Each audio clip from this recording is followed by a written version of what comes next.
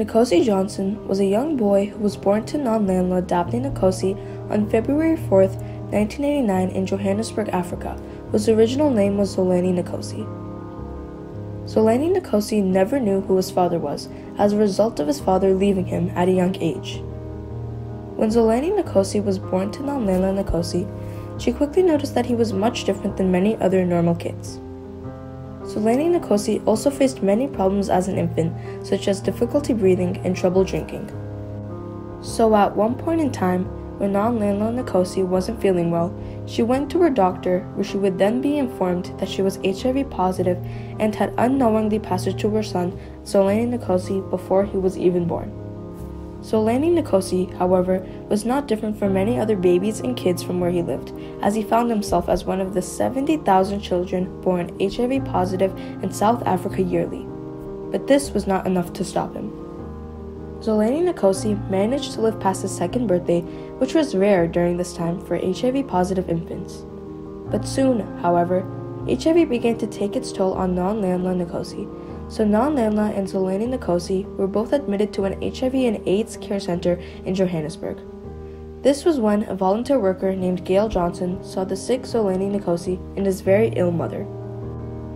Gail Johnson said about Zolani Nkosi at the AIDS care center, It was a very personal and mutual understanding. I had a graphic encounter with an AIDS death close to my family, and I wanted to do something more than just talk about it. And there was Nkosi, all I had to do was reach out to him.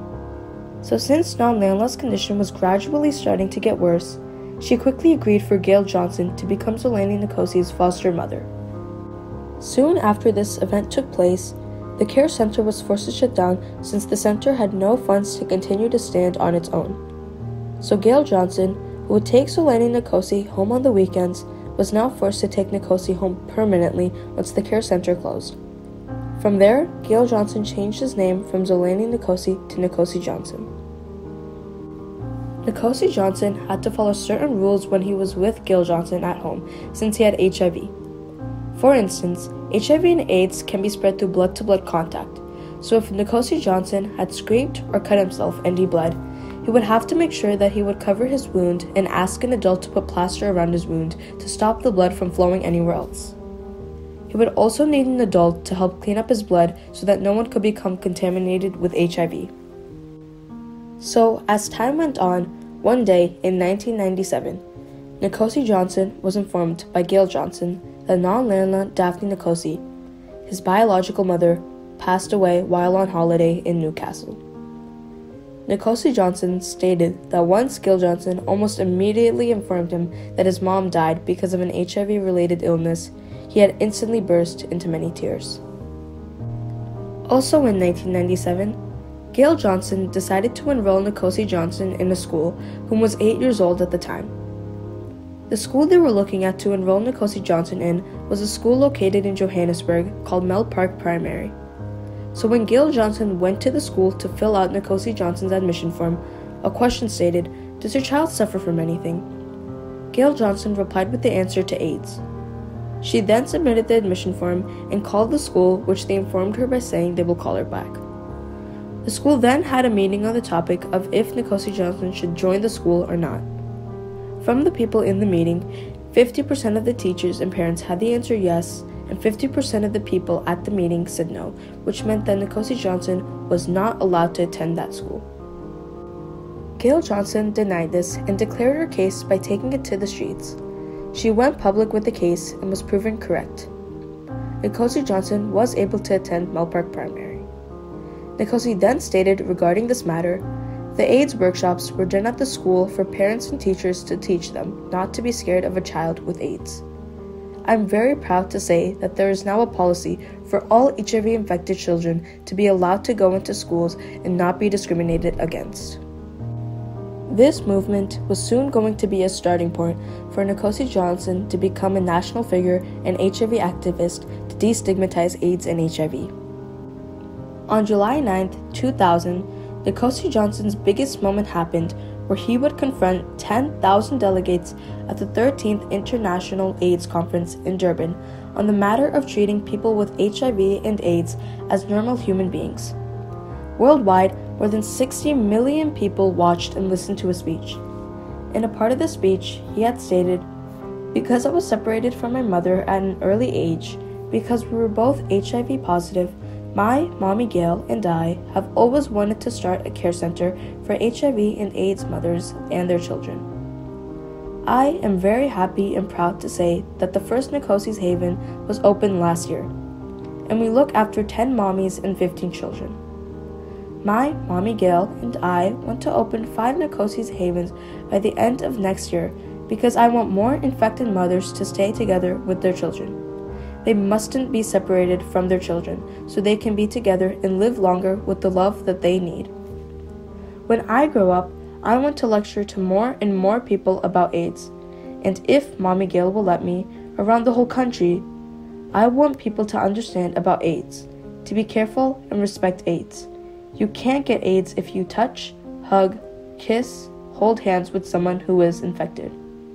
Care for us and accept us. We are all human beings. We are normal, we have hands, we have feet, we can walk, we can talk. We have needs just like everyone else. Don't be afraid of us. We are all the same.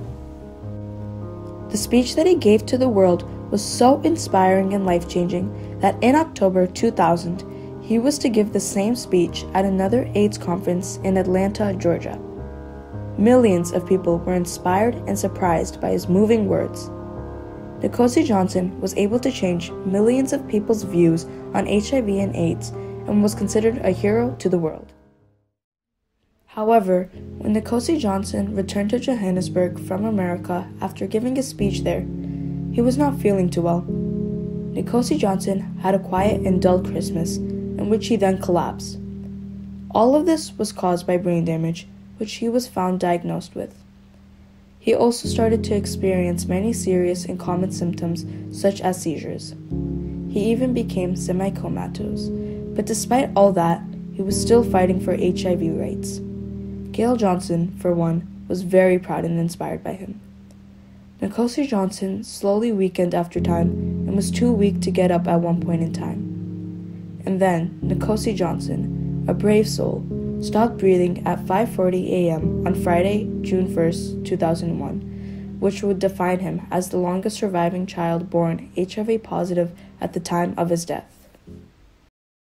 His disease struck hard, and millions in South Africa watched and waited and prayed. We are all the same, he often said. He was wrong. Nkosi was different. An amazing kid.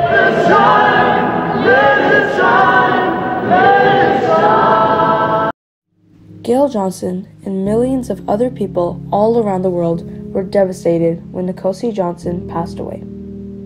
Nkosi Johnson received a hero's burial on his funeral with thousands of mourners who were touched by his powerful actions and meaningful words. Nkosi Johnson might not be living in this world anymore, but his legacy is still alive to this day. After Nkosi Johnson passed away, Gail Johnson continued to fight against the discrimination of people who have HIV and AIDS. Nkosi Johnson also developed AIDS awareness throughout the world before he passed away. In 2005, Nkosi Johnson was able to win the Children's Peace Prize even long after his death. Also, the organization Kids Rights continues to support Nkosi's Haven, which is a non governmental organization that provides a safe place for kids and mothers with HIV and AIDS to live together and be provided for their necessities such as education, housing, good nutrition, healthcare, and more. Nkosi's Haven yearly provides for over 25 mothers and 100 children. Nkosi Johnson was not only a hero to millions of people with HIV and AIDS, but he was also able to break the barrier of ignorance from millions of people's views on HIV and AIDS. And he is known as an icon to the world for his lasting actions on the topic of AIDS and HIV.